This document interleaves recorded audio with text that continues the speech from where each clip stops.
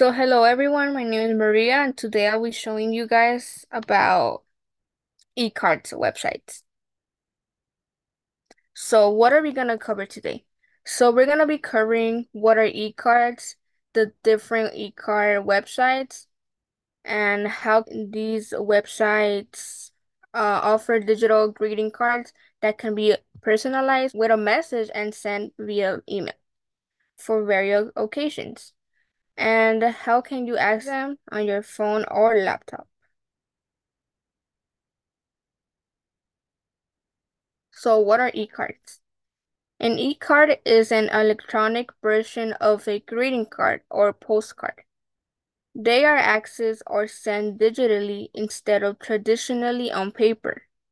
E-cards are usually available through numerous sites, some which we will talk about today. Since these cards are digital, they are usually able to be personalized to whatever the sender would like it to be. If you don't want your e-card to be personalized, you're able to choose from pre-made templates. Then go through it with the rest of the e-card process, like adding any messages, pictures, etc. Different types of e-card. So we're going to focus right now on postcards and greeting cards.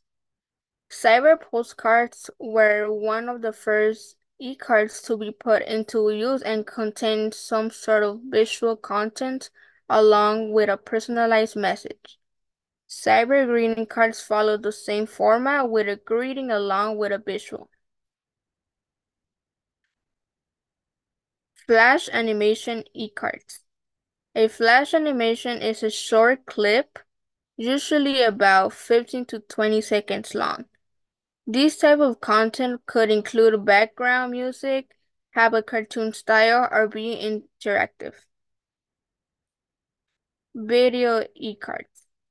Video e-cards use a combination of either text, images, and or videos to create a personalized message for the recipient. You can choose your own media to add in the video or choose from any pre-recorded or existed content. Mobile e-cards. These are e-cards that are transmitted through a mobile device using a message service. Another word for mobile e-cards is M-cards which could be specifically offered by a service carrier and contain media or text. So these are the websites. The first one is techboomers.com. Techboomers.com explores the seven best places to obtain an e-card and some helpful guidance on sending them.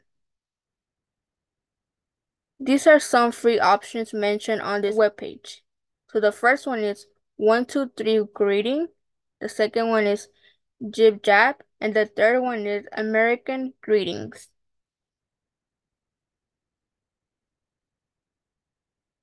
The second website is lifewire.com, which is another website that lists places to obtain and send e-cards along with insightful pros and cons. Some of the e-cards site to mention on this website is Greetings Island, Open Me, and Cross Cards. If you do not find a site you wish to use, Lifewire.com also has handpicked lists of the best sites. The third one is BlueMountain.com which is another web page where you can access thousands of e-cards pre-made or personalize your own. You're also able to include a gift card, choose an interactive card, add multimedia, and much more. In order to get unlimited access in this site, you must make an account, which is available on a free trial. And these are the membership options. The monthly one is $6.99. The year is $29.99.